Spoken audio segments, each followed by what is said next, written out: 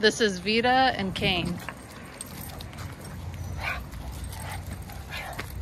She is a mouthy little player. You think was um who was Cane's roommate?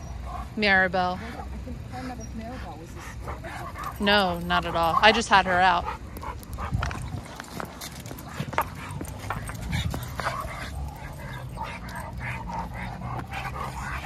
She's such a herding dog.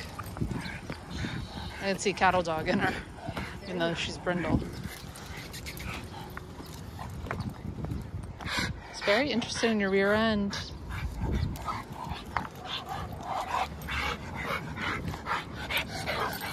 He's so tolerant. I'm, I'll say he's got thick skin. Well, probably a little bit of both helps. Whoa.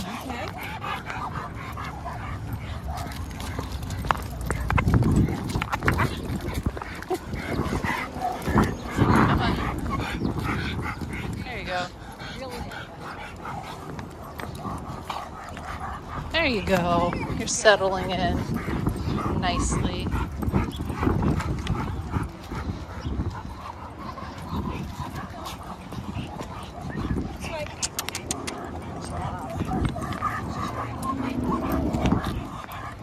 He's a goofy guy.